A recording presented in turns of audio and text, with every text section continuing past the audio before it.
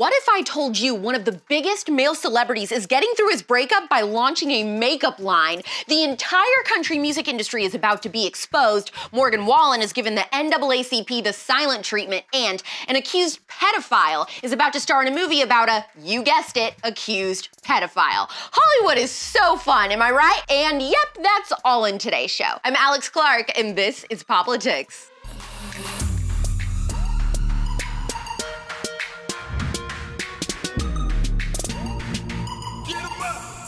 A-Rod launched a makeup line for men, and the promo pics are something else. There you go.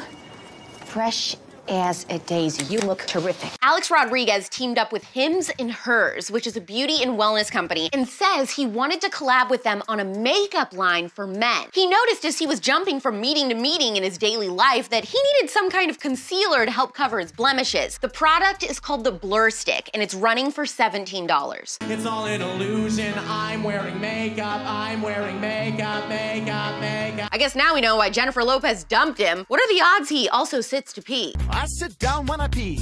There's nothing that crazy about me.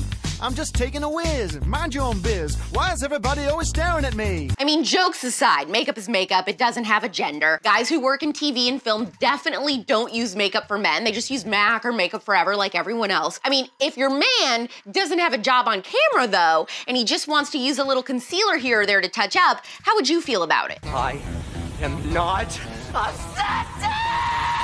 Isn't the only man with a beauty line out right now either. Lil Yachty has a new nail polish line. Lil Yachty said, if you find painting your nails is a way to show your creative side or it's an aesthetic that fits you, you shouldn't be judged for it. Outside opinion shouldn't have an effect on your aesthetic and whatever you decide to do, and this line is a reflection of that. I guess I shouldn't be shocked if I go on a date and a guy has better contour and acrylics than me. When I was in high school, guys used to take turns trying to see who could take a bigger crap in the bathroom. Wow, have times changed. Even your farts, they're not manly. You're being ridiculous. They sound like a baby blowing out the candles on a birthday cake. What? Like a little. Country conservatives are definitely gonna wanna hear this. A music insider is about to expose country music hypocrites in a new book. Country boy, I love you. Dorothy Carvello is a former exec for Atlantic Records, and she already published one explosive memoir about being the first female A&R exec at the company. It came out in 2018 and it was called Anything for a Hit, an A&R woman's story of surviving the music industry. She dished on abusive execs and told stories about Michael Jackson, Madonna, Steven Tyler, Bon Jovi, INXS, and more. Look, I just flipped the switch.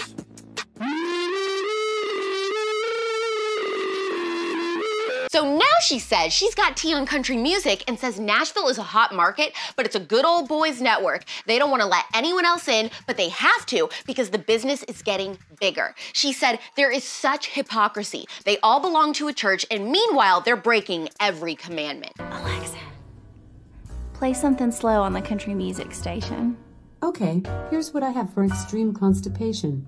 To help relieve con- Dorothy said award shows are also totally rigged and that there are secret committees and backroom deals, and it's very tough to break in. They can't sit with us!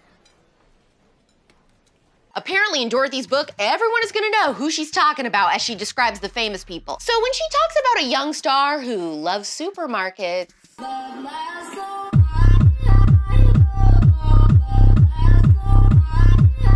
Speaking of country stars, did you hear about the latest stink surrounding Morgan Wallen now?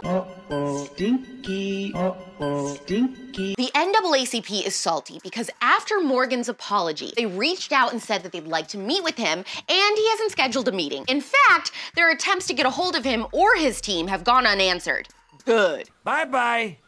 See you later. The NAACP is just like BLM Inc. They're a woke organization that pretends to want to solve racial injustice while sowing division and hate towards white people and worse. The NAACP isn't interested in truly forgiving Morgan. Do not get it twisted. They want to try to indoctrinate him with critical race theory stuff, and then when that doesn't work, or later in life when he does or says something they don't like, they'll turn on him again. I'm sure Morgan and his team are completely aware of what fake and fickle friends the NAACP would be.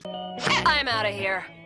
And if you don't believe me that the NAACP is a total joke, let me remind you of last month when their president and CEO, Derrick Johnson, said a taser should have been used instead of a gun in the shooting of Ma'Khia Bryant in Columbus, Ohio. Yeah, remember that insane case? Boy, that fell out of the news real quick, didn't it? And it's gone. Hopefully, Morgan continues to blow them off. Contrary to SJW belief, it is possible to make a mistake and admit to it and not repeat that behavior without selling your soul to the woke mob, which is exactly what they want. The race hustlers on the left remind me of that voodoo king from The Princess and the Frog taking souls. I can read your future. I can change it around some too. I look deep into your heart and soul. You do have a soul, don't you, Lawrence? Make your wildest dreams come true. I got voodoo, I got hoodoo, I got things I ain't even tried. And I got friends on the other side. He's got friends on the other side. Kevin Spacey hasn't starred in anything since it came out that he was not only close friends with Jeffrey Epstein, but that he had been accused of sexual misconduct from several teenage boys. I don't care. I don't care. Well, guess what? He's back, and this time, rumor is he's going to star in a movie about, drumroll please, an accused pedophile. The movie is about a blind artist who's been accused of pedophilia, and Kevin Spacey is the detective who investigates it all. The greatest trick the devil ever pulled was convincing the world he didn't exist. Keep your eyes peeled for your friends who are outraged about this development but voted for Biden. Does the complete lack of self awareness give you a splitting headache, or is that just me? Wake up! Wake up!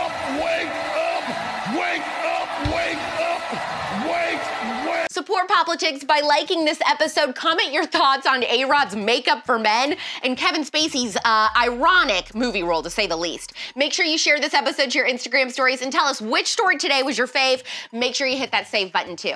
We're back tomorrow at 4 p.m. Eastern, 1 p.m. Pacific. It's pop culture without the propaganda every single day. I'm Alex Clark, and this is POPlitics.